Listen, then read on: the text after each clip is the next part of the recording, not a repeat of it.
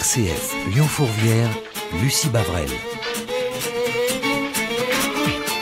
Jean Pouly, bonjour. Bonjour Lucie. On vous retrouve euh, comme chaque semaine pour parler euh, du numérique. Alors aujourd'hui, avec vous, on va spécifiquement parler des industries culturelles à l'heure du numérique, donc cinéma, musique, littérature. Euh, est-ce que ces industries doivent changer de modèle de développement? On en parle donc aujourd'hui avec vous. Mais elles changent déjà énormément. J'en veux pour preuve la, récente fermeture qui a fait du bruit du mythique Virgin Megastore des Champs-Élysées et qui résonne un peu comme un nouveau signal dans la profonde mutation que vit justement ce secteur des industries culturelles. Alors c'est vrai que c'est un secteur qui était un peu assis sur un tas d'or depuis de nombreuses années, notamment avec le secteur musical, et ils n'ont pas forcément venu venir euh, vu euh, ces, nouvelles, ces nouveaux modèles de production, de diffusion, de consommation des biens culturels et ils ont du mal à, s'adapter à ce qu'on appelle maintenant la gratuité payante qui s'est durablement inscrit, j'allais dire, installé dans les esprits et les habitudes de consommation. Quels sont les fondamentaux de cette nouvelle donne numérique pour les industries culturelles? En fait, pour bien comprendre l'évolution actuelle, il faut avoir à l'esprit que c'est que les industries culturelles, en fait, ont toujours eu un lien euh, très proche avec l'évolution des techniques, de leurs techniques, que ce soit la photographie avec le papier, le disque vinyle, les cassettes vidéo magnétiques, Bien sûr, euh, après le tournant dans les années 90, avec le numérique qui est arrivé, et euh, ce changement a, beaucoup de caractéristiques, donc on compresse hein, les données en 1 et en 0, et les conséquences, c'est qu'on a une baisse des coûts de production, une miniaturisation des supports, et, eh ben, tout ça, ça permet une grande démocratisation, le transport quasi illimité des biens culturels, que ce soit des livres, de la musique, du cinéma, sur les réseaux informatiques. Alors l'avènement à la fin des années 90 des réseaux qu'on a appelé peer-to-peer ou pair à pair avec le, précurseur de l'échange de fichiers musicaux qui s'appelait Napster, a montré la voie et a montré ce que deviendrait sans doute le marché des biens culturels, ce qu'il est aujourd'hui, un vaste réseau mondial décentralisé où les règles du jeu étaient totalement repensées. Pour quelle raison le, le, secteur des industries culturelles n'a pas anticipé ce tournant? On pouvait, on pouvait le voir venir, non? Oui, c'est vrai quand on connaissait un peu le secteur, mais en fait, euh, bon, il y a plusieurs raisons. C'est vrai que quand on est assis sur un tas d'or, comme je le disais, et de rente, c'est un petit peu difficile de se remettre en cause. On se dit que son modèle continuera toujours.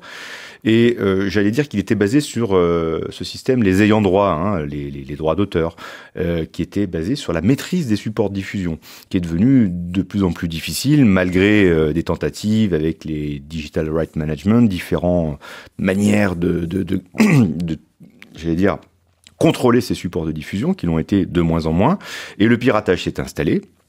Et euh, bah, les habitudes de consommation ont, été prises, ce qui a fait chuter les ventes de disques de façon euh, presque euh, inexorable depuis dix ans aux États-Unis, des baisses énormes. Et on l'a vu cette année, ça s'est un petit peu stabilisé, donc on, pense que enfin il y a des nouveaux modèles qui sont en train de prendre le relais et j'allais dire d'arrêter cette chute.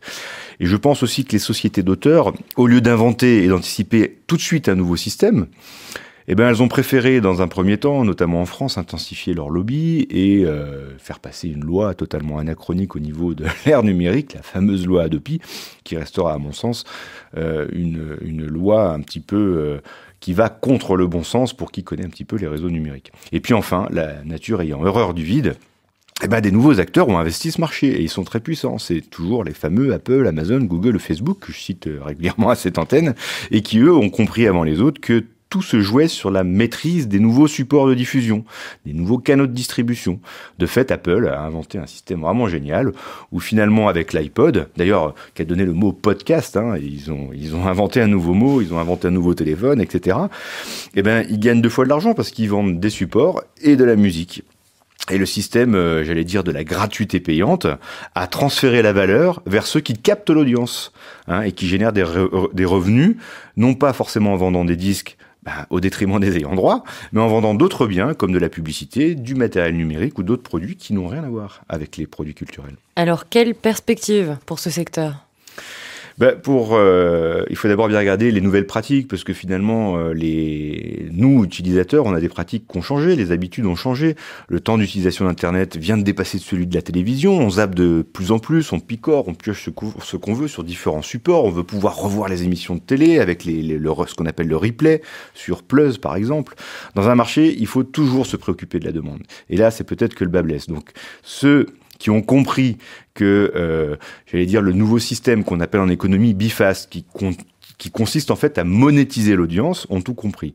Et là, les ayants droit sont un peu les perdants du système. Alors de fait, il y a plusieurs scénarios. Soit les ayants droit, ils continuent à avoir euh, un bras de fer avec euh, ceux qui ont l'audience comme Google, et à ce moment-là, s'ils gagnent leur bras de fer, pourquoi pas, ils euh, tireront un petit peu bénéfice, comme on vient de le voir avec les auteurs qui ont trouvé un accord avec Google pour avoir 60 millions d'euros.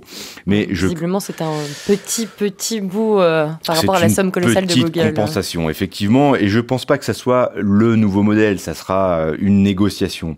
Soit, et c'est peut-être là la voie, on voit des acteurs comme Deezer ou Spotify, Deezer qui est français, Spotify je crois qui est qui est scandinave et qui commence à vraiment bien marcher, ce sont de nouveaux modèles de streaming au début gratuit avec des modèles d'abonnement payant. Et finalement, on en revient un peu à la licence globale qui avait été proposée comme alternative à, à, à, Adopi, on avait dit pourquoi pas une licence globale. Je me souviens avoir entendu euh, Pascal Nègre qui disait mais non, euh, vous pouvez pas avoir euh, une licence globale pour acheter des pains à la boulangerie. Sauf que la différence, c'est que le pain, à chaque fois, il faut fabriquer du pain. Là, le coût de marginal de reproduction est nul et le système ne marchait pas.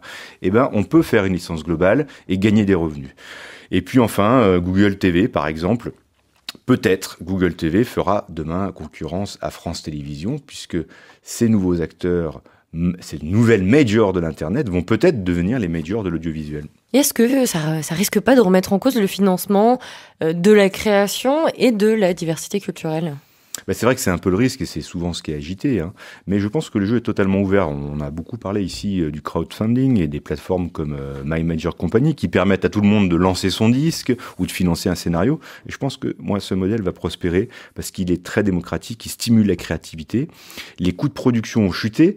Donc tout le monde peut aujourd'hui créer et diffuser sur les réseaux sociaux et je pense que peut-être justement, comme je le disais, les nouvelles majors du système seront probablement Google ou Facebook qui vont truster en quelque sorte ces nouvelles pépites créatives grâce à leur audience, grâce à leur algorithme et que les nouveaux modèles économiques qui sont en train de se construire euh, eh ben, le font en dehors des systèmes traditionnels et donc des ayants droit.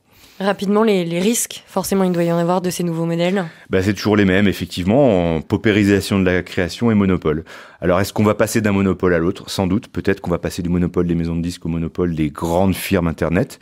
Euh, quand on voit leur puissance, on peut vraiment s'en inquiéter. En même temps, je serais un petit peu moins inquiet pour euh, le risque d'appauvrissement de la création, parce que finalement, euh, aujourd'hui, tout le monde peut créer. Et il faut se souvenir aussi que ces grands modèles de, de, du disque quelque part aussi un peu paupérisé les talents en mettant en place des logiques de marketing dans un monde où on fabriquait des stars et on laissait de côté le talent.